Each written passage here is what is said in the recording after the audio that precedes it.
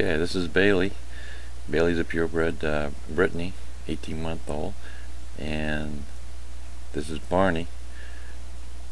Barney's also a uh, purebred Brittany, 18 months old. And I believe they're brother and sister. Um, Bailey's uh, quite the little camera hog here.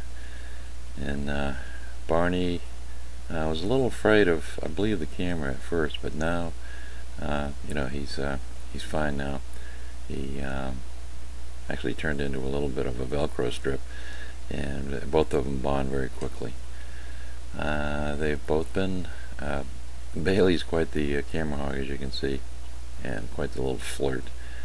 Uh, she's clearly the alpha leader in this little pack.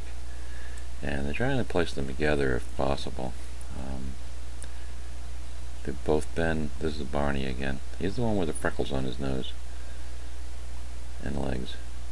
Um, they've both been altered. They're up to date on their shots and tests, and they've both been microchipped.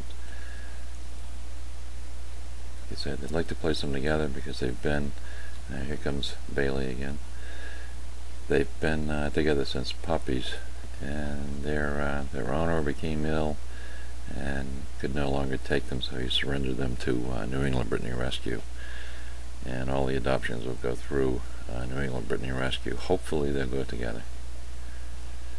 They're both in very good shape. And uh, very nice dogs.